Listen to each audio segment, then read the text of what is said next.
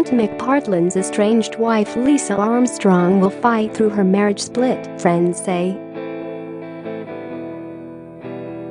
The makeup artist's pal and Strictly dancer Robin Windsor calls her a strong person and says she'll get through the heartache.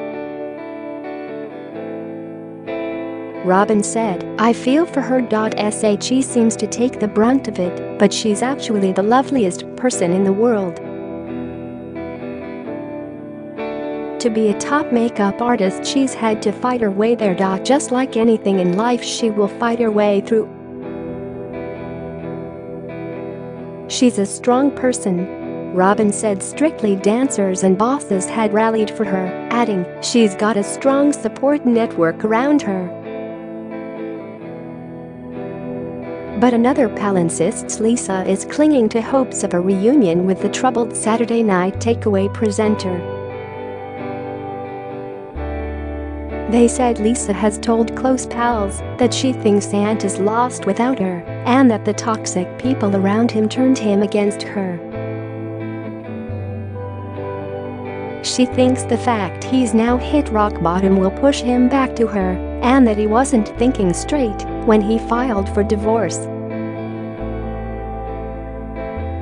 Ant checked into rehab last week after he was arrested on suspicion of drink driving on March 18 after a three-car crash in southwest London. December Donnelly revealed Saturday Night Takeaway has been tinged with sadness as he paid tribute to Ant McPartlin once the cameras had stopped rolling tonight.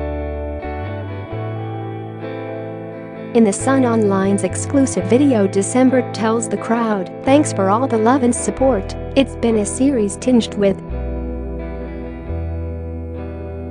Well, as December struggled to find the words, someone yelled from the audience, we miss Ant.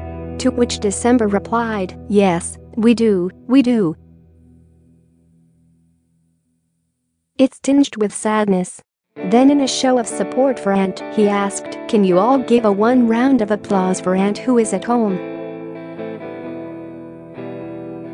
The audience then broke out into a rapturous applause. Clearly moved, December said, Thank you so much, I know he will appreciate that a great great deal.